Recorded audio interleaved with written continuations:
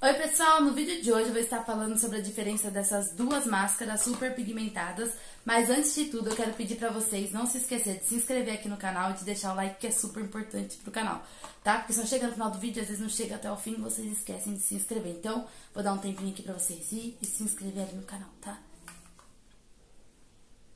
Pronto, acho que agora já deu tempo, né? Então vamos começar a falar sobre a diferença dessas duas belezinhas aqui. Como vocês sabem, eu vivo mudando sempre a cor do cabelo e entre tinta e tonalizante e máscara pigmentada, eu prefiro sempre, opto pelo tonalizante e máscara, tá?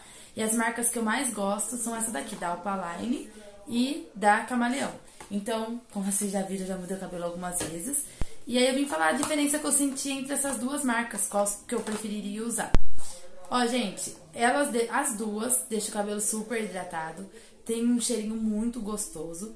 Entre as duas, ainda eu gosto mais do cheiro da máscara da Camaleão, que tem um cheirinho mais doce, um cheirinho de chiclete, e ela é bem brilhante. E elas são super pigmentadas. Na, na questão do desbotamento, eu sinto que a da Alpaline desbota com menos, então eu passei ela quando eu lavei e saiu menos. Agora, a da Camaleão sai, não sai muito, mas sai mais do que a da Alpaline. Da Alpaline você pinta, e aí quando você lava, na primeira lavagem, você sente que não saiu tanta tinta, sabe? Não desbota tanto. A Camaleão segura bastante, como vocês veem, eu já falei nos outros vídeos, segura assim meses, ela é muito, muito, muito pigmentada, parece tinta mesmo. Mas ela sai a cor, né? Vai sair, sai, eu vejo que sai mais, a cor fica mais mais na água na hora que você lava, entendeu?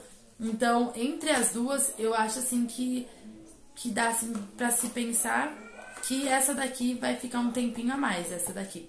O valor, gente, é bem grande, né? Essa daqui, ela custa 50 reais, essa que eu paguei 25 reais.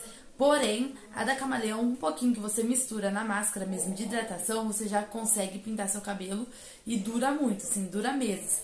Agora essa daqui você tem que passar ela pura, então dá pra me passar essa daqui mais umas duas vezes e já acaba.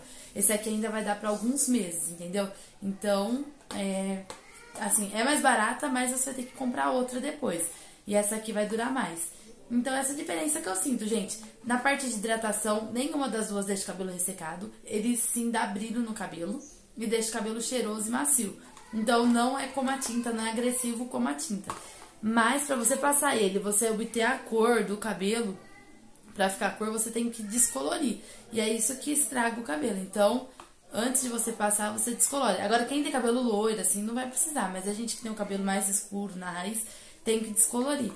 Então, foi essas duas diferenças que eu senti nelas duas, tá? E aí fica a critério de vocês agora fazer a escolha. E quando você comprar, deixa aqui nos comentários, fala de qual que vocês gostam mais. Se vocês têm mais alguma pra indicar, tá bom? Então até o próximo vídeo. Beijinhos. Tchau!